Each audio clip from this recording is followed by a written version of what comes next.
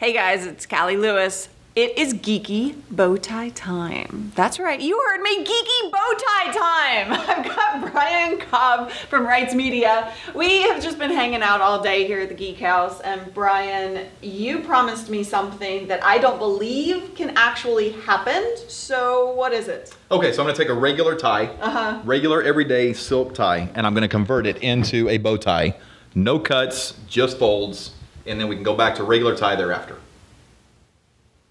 What do you mean you're going to take a long bow tie into a bow tie? Do- doesn't, by definition, the bow tie have less fabric?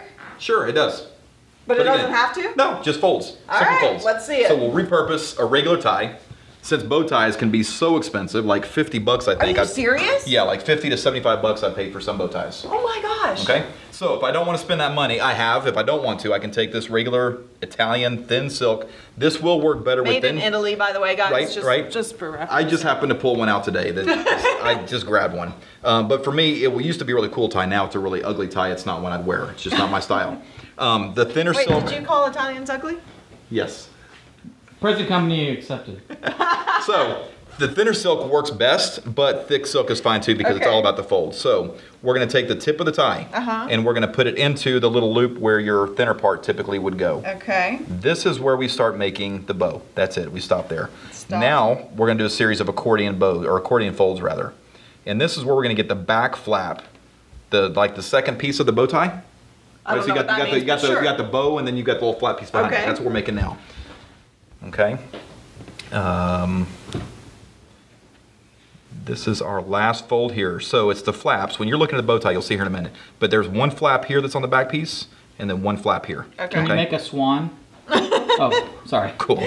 so I'm gonna, video. I'm gonna, I'm gonna mark about half the halfway mark of the tie. There's a natural fold or seam on the back of this, Yeah. right? So I'm gonna take that natural seam, and we're basically gonna pick the tie up.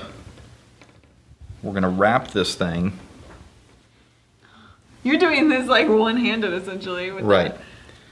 We're Do gonna. when you're first learning, do you need somebody to hold it like a present, like wrapping a no, present? no, no, it's very easy. We're just we're just wrapping, and then we're gonna come under the loop that we did. Now it's gonna be ugly in the beginning, but we're gonna shape it. This Okay. this gets us to point Structure. B. Right. I see the structure right, right. happening. So now this is the point where you can tighten. Right? You can you can adjust. You can see how the thin piece is here because we did the fold, so it's like a regular bow tie, right?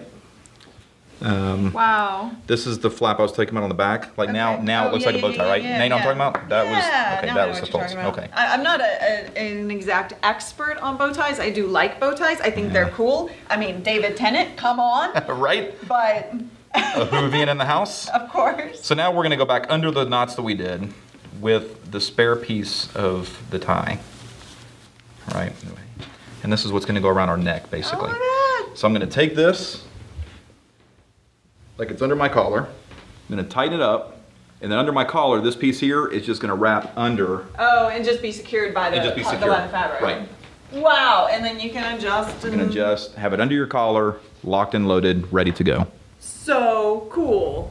Now that is geeky coolness right there. Thank you so much, Brian.